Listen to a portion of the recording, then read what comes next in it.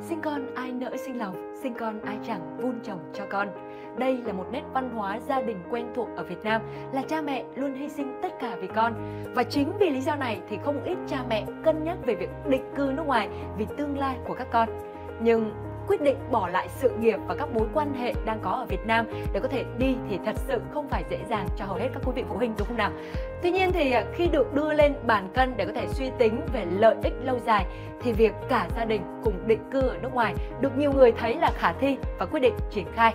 Và trong số vô vàn những sự lựa chọn thì Mỹ chính là quốc gia lý tưởng của nhiều bậc phụ huynh bởi vì kinh tế phát triển, văn hóa đa bản sắc và đề cao quyền trẻ em. Bên cạnh đó, Mỹ luôn tiên phong đi đầu trong việc đảm bảo quyền lợi và lợi ích hợp pháp của trẻ em. Nhiều chính sách đã được ban hành nhằm giúp thế hệ tương lai có thể tiếp cận được chất lượng y tế và nền giáo dục tốt nhất, chẳng hạn như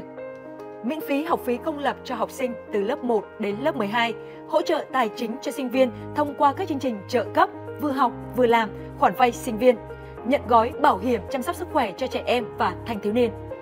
và trẻ em nước ngoài hoàn toàn có thể nhận được những quyền lợi này khi cả gia đình trở thành thường trú nhân Mỹ.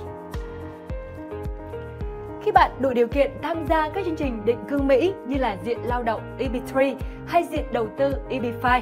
bạn và vợ hoặc chồng cùng với các con cái phụ thuộc dưới 21 tuổi đều có thể đi cùng. Và đó chính là lý do mà nhiều gia đình quyết định định cư sớm. Việc này đồng thời giúp cho trẻ thích nghi với một môi trường mới tốt hơn.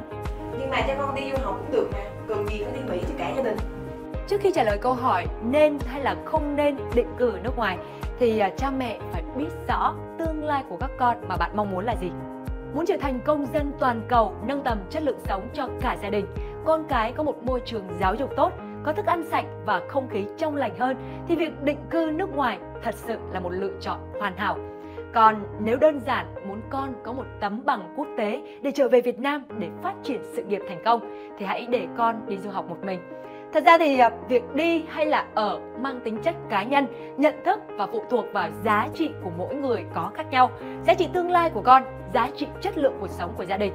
Và nếu sợi dây hạnh phúc của cha mẹ đồng hành liên kết được với sợi dây hạnh phúc của các con sẽ là một điều vô cùng tuyệt vời đối với cả gia đình.